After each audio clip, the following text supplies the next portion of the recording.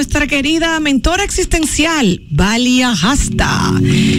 Vamos a hablar hoy. No, señor, un aplauso para Vali. ¿qué? Vamos a hablar hoy. es que ya estamos en on. Estamos en on mode. Vamos a hablar de una experiencia que vivió nuestra querida Gaby. Fuerte, poderoso. Y que hoy la queremos compartir contigo. A ver, Vali, ¿de qué va esto del, del tarot de Osho? Bueno, la sesión del Osho Tarot Zen, siempre muy feliz de estar aquí en Mujeres al Borde. Eh, se trata sobre una mirada de tu campo energético aquí y ahora. Una comprensión completa de qué, qué estás trabajando a nivel interno. Recordemos que cuando el ser humano no va tras la conquista de dinero, poder y prestigio, eh, la energía se mueve hacia adentro y vas hacia la conquista de ti mismo.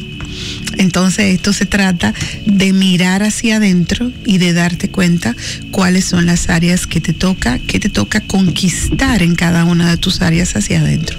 Comprender que estás reprimiendo, a qué estás siendo receptivo, qué marca tu hacer, qué te toca observar, tu cuerpo, tu corazón, tu ser interno, a qué nuevo nivel de conciencia te quiere llevar la vida. O sea, es una visión total, completa de absolutamente todas las áreas en tu momento presente. Es como una radiografía, más que una predicción, realmente. Exacto.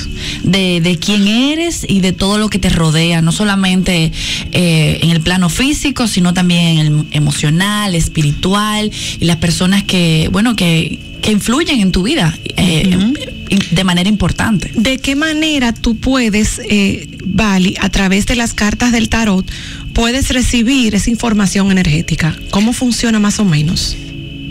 Ok. No, lo que estoy no, lo que tratando, no, lo que estoy tratando No, de que la gente entienda yo- la diferencia con una tirada de carta tradicional, que es lo, que, siempre hemos escuchado. es que el tarot de adivinación no es tal. ¿ok? Exacto. O sea, el tarot de adivinación no es tal. No hay manera de tú eh, definir el destino de una persona. Tú sí puedes leer lo que ya está instalado en la energía. Ok.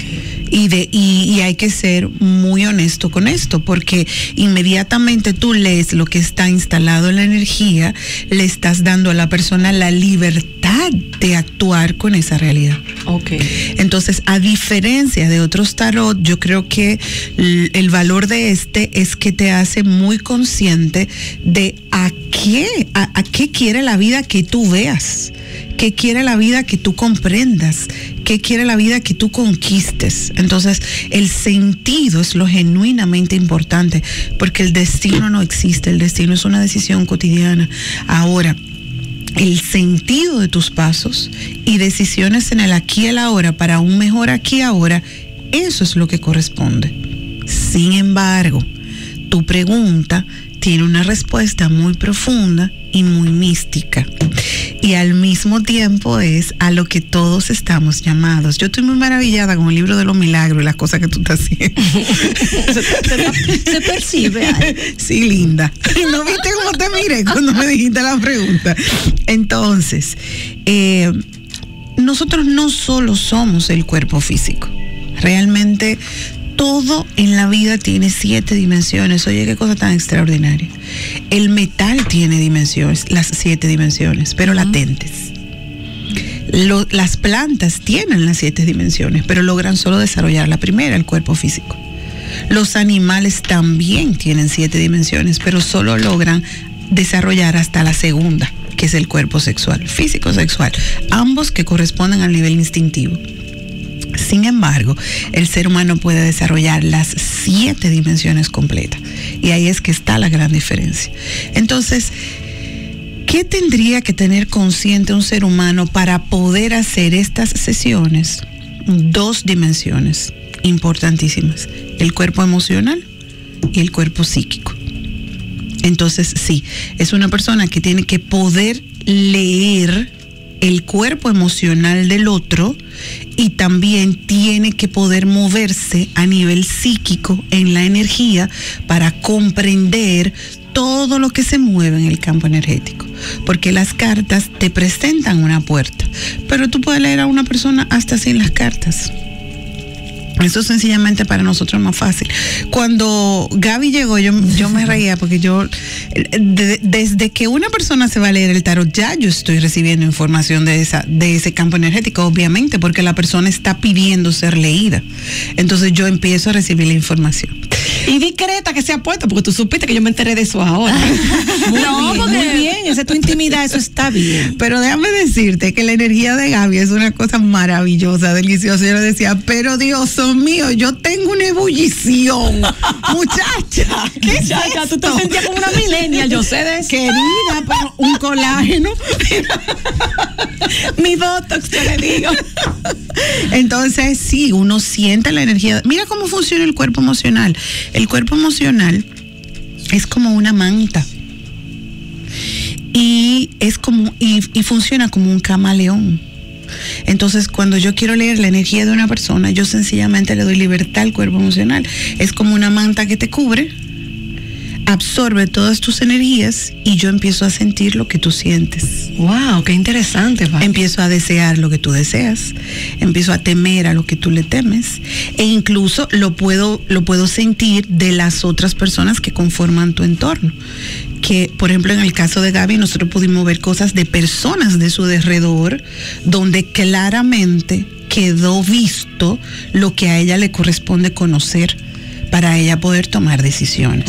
O sea que al final del día, en este caso, es otra historia, no es una tirada de carta, porque sí es una herramienta realmente para tú poder hacer unas mejoras en tu entorno actual, como tú dices, aquí y ahora. Decisiones en el aquí y ahora para un mejor aquí y ahora. O sea, esto no me va a decir a mí ni qué fue lo que pasó, ni qué es lo que va a pasar, que me parece mucho más honesto.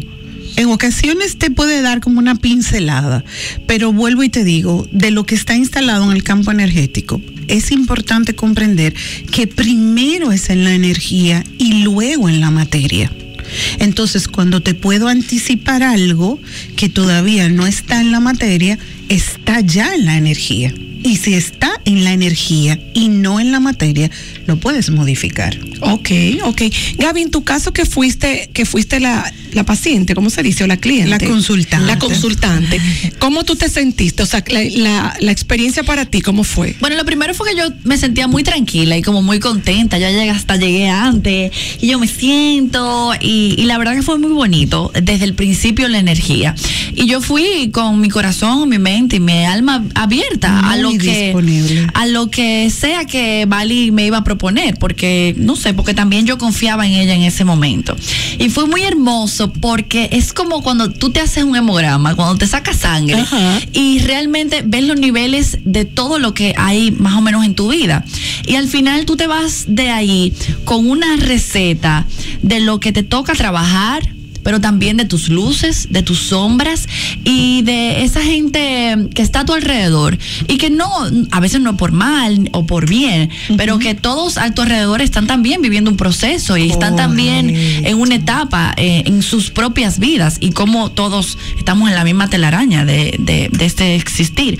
Pero es muy bonito, es muy sanador, eh, también es una invitación a, mejorar como seres humanos, como almas, como personas y tú te vas de ahí con esa tarea de que si tú quieres seguir creciendo, seguir floreciendo, entonces a partir de ahí tú puedes hacer cambios eh, y es muy hermoso también cambiar tu perspectiva de algunas personas y de, nada, de organizar tu entorno. Hablando de, la- de las personas que nos rodean y su energía frente a nosotros, ¿qué tan importante es y cómo nosotros en la cotidianidad podemos saber cuándo es una intuición real de esa energía versus cuándo es la vocecita del ego? que tú sabes que es terrible, diciéndonos. Y lo digo porque dicen que uno se parece a las cinco personas con las que uno más se junta, que sí te afecta el, el entorno tuyo, definitivamente, emocionalmente. Sí, todos tenemos un juez interno. Pero ¿cómo saber cuándo realmente hay una voz interna que te dice que esa energía no está fluyendo o no le agrada? ¿Y cuándo, y cuándo es el ego? El ego, que puede ser la Eh, envidia, que puede ser los celos. Claro, claro. La diferencia está en que el juez interno o la voz del ego habla como una voz en la mente. Tú sientes que tilili, escuchas tilili, una tilili. voz. Sin embargo, la voz interior, la- el instinto y la intuición es energético. Entonces son cosas que sientes. Son sentimientos que se manifiestan y que te llevan a una comprensión, pero no es una voz. Cuando tú sientes esa energía, esa intuición que no es buena de alguien que, te, que con quien estás compartiendo un momento o con quien compartes a menudo, lo ideal desde tu mirada es que uno se retire o, o que uno trate de buscar la manera de fluir. ¿Qué es lo ideal? No, O sea, ¿qué ni es lo, que te- uno ni lo otro. Ni lo uno ni lo otro. Ni te retires ni busques fluir. Sencillamente comprende el sentido para ti. Entonces, por ejemplo, pudiéramos pensar que la envidia es un sentimiento negativo y que si una persona siente envidia o tú sientes envidia, tendrías que revisarte. Ajá. Algo malo hay en ti eh, y en cierta forma empiezas como a autoflagelarte porque la psique colectiva y en muchas de nuestras culturas está instalado como un sentimiento dañino. Sin embargo, la envidia es un sentimiento extraordinario porque la envidia es la puerta a la comprensión de que no estás en el lugar que te corresponde. Y por lo tanto empiezas a sentir esto de que el otro que luce tan feliz y que luce tan pleno y que parecería que la está pasando tan bien, yo quisiera eso en mi vida. Entonces el sentimiento es genuino, honralo. Ocúpate de darte cuenta que definitivamente algo en ti se desperdicia y que solo tú eres responsable de ir a descubrir tu lugar. Mira, Mira qué interesante. para mí eh, hay algo maravilloso. Yo que tengo cercanía con Janice, que es psicóloga y que es coach, eh, es fue tan, ese, esas cosas secretas que la gente normalmente no ve en las cámaras o en la televisión, fue tan parecidos ciertas cosas que Janice me obliga a trabajar a las que Bali me planteó que, que son mi tarea. No, yo le voy a contar ahorita fuera del aire las cosas, por favor. Que parecía un complot positivo. No, yo dije, no, y mi mamá me dijo sobre todo que es como mi gran eh, confidente. Yo le dije, mami, tú no entiendes. Me dijo, ay, qué bueno que están las dos, porque ya las dos me encantan y qué bueno que las dos te lo están diciendo. qué bueno que las dos te lo están diciendo, porque ay, ay, ay, ay. realmente, entonces para mí fue maravilloso. Hasta cosas, decisiones que yo tengo que tomar en la vida, eh, contundentes, las dos me lo pusieron en una bandeja. Me dijeron, esto es. O sea, Wow. y yo dije, ah, ok, ya, está bien, ya lo entendí. Entonces fue maravilloso porque es, son dos miradas, porque yo creo que hay algo del ser humano actual, sobre todo en los millennials, de los jóvenes, que queremos hacer todo tan aterrizado y tan científico. Pero fue tan bonito ver todo algo que yo necesito trabajar de mí misma, que todos tenemos, no solamente de la, desde la parte científica, desde la ciencia, la psicología, sino verlo desde un plano espiritual, Genial. desde el alma, desde los sentimientos, desde mi energía. La verdad que fue muy bello porque como yo estaba comentando, no sé si dentro o fuera del aire, ya, ya no me acuerdo, pero eh, definitivamente Gaby eh, es una persona que está en el lugar que le corresponde estar, pero además que va a alcanzar unas posiciones significativas de poder. Ahora bien, estas posiciones que ella va a alcanzar, señora, nosotros vamos a aplaudir mucho a Gaby de Sandy. Ay, Dios la me seguiremos aplaudiendo, ya. La seguiremos aplaudiendo y nos vamos a sentir muy orgullosas de ella siempre. Ahora bien, eh, es interesantísimo en todo esto que, te que le confirma a ella su buen viento, su claridad de lugar, su claridad de acción, la, la parte que le dice, ok, pero para que nada de esto se desperdicie, para que esta gran oportunidad que la tienes tan clara no se desperdicie, estas son tus anclas.